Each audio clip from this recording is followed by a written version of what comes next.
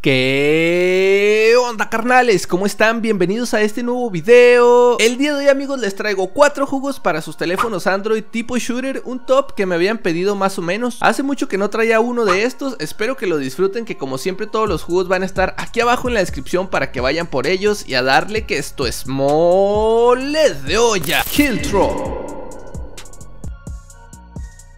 Comenzamos el top con un videojuego de mundo abierto en el cual nuestro único objetivo es explorar el mapa lo más que podamos. En el camino nos iremos encontrando con algunos enemigos los cuales se van a defender y nos atacarán. Al principio está medio fácil porque te sale uno que otro, pero mientras más vas avanzando te van saliendo de más montón y se vuelve un poco más complicada la cosa. Lo divertido es que mientras tú vas avanzando y explorando encuentras las casitas y en estas casitas encontrarás loot, entre ello nueva munición para tus armas que llevas de manera default y también nuevos ítems. Y esto es lo divertido, ir avanzando encontrando los nuevos ítems para seguir avanzando y atacando a los enemigos. Básicamente es un juego de exploración combinado con shooter, pero como te dije el único objetivo es sobrevivir lo más que puedas y encontrar todo en el mapa. Calidad gráfica, gráficos medios tirándole a feos y en jugabilidad joystick de movimiento, botoncito para apuntar, disparar, correr, saltar y agacharte. Recomendado este es el número 4. Chicken Gun.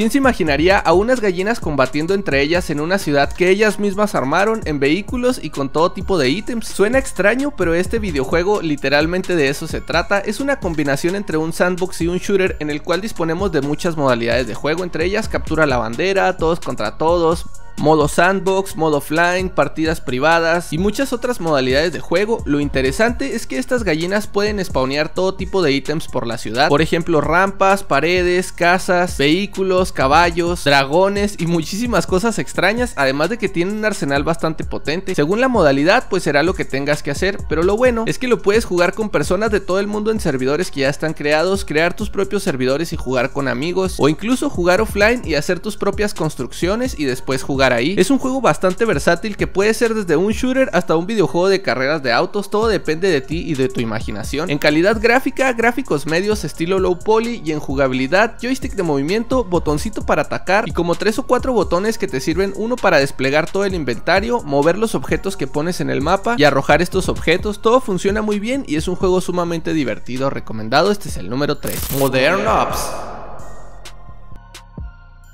Ahora sí ya vamos con los shooters que normalmente todos imaginan cuando alguien les dice shooter de Android. Un videojuego con una ambientación un poco más realista y las modalidades de juego más clásicas de siempre. Batalla por equipos, todos contra todos, captura la bandera, carrera armamentista, desactiva la bomba y las más clásicas que ya te puedas imaginar. Es un videojuego bastante frenético y muy rápido en el cual se siente como esa emoción de un shooter. Entras a la partida bien rápidamente, luego luego te topas con 3-4 enemigos, los eliminas o te eliminan, vuelves a respawnear y sigues el combate algo bastante rápido. Con el dinero que ganes en las partidas puedes desbloquear muchísimas armas diferentes y también algunos skins para tu personaje. Y algo importante es que no todas las modalidades de juego están desbloqueadas desde un principio. Primero tienes que jugar las básicas, subir de nivel y así es como vas desbloqueando las otras. Por supuesto que también puedes jugar con amigos por si te lo estabas preguntando. Calidad gráfica, gráficos altos, jugabilidad, los controles de cualquier shooter bien elaborado, además que puedes activar o desactivar opciones como el tiro automático y algunas más. Recomendado si quieres algo más pro, este es el número 3.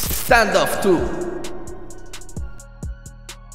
Ya para cerrar este top tenemos uno muy similar al del puesto anterior que también intenta ser como muy realista y muy rápido, pero con muchísima más dificultad, más jugadores y en contenido muchísimo, pero de verdad muchísimo contenido más. Incluso aquí hay algunos ítems que son legendarios, ítems comunes, ítems raros y tiene esas mecánicas del mercado de ítems en el cual algunos tienen más valor que otro y los puedes estar vendiendo y comprando. En modos de juego tenemos las modalidades de siempre de cualquier shooter profesional y además puedes crear tus servidores privados para que juegues solo con amigos cualidad principal yo diría la dificultad y que las partidas son demasiado rápidas. Se siente la diversión pura de un shooter. En gráficos tenemos gráficos altos y en jugabilidad tienes buenos controles que funcionan bien y además tú puedes modificar el layout como tú mejor lo prefieras, pero incluso tiene algunos atajos rápidos como por ejemplo tocar doble en pantalla para saltar y puedes configurar algunas de estas acciones rápidas porque como te digo este es un juego demasiado rápido y de mucha precisión. Perfecto para los pro gamer y un juego que sin problemas está a la calidad de otros como por ejemplo Call of Duty PUBG. Recomendado al 100%, este es el número 1.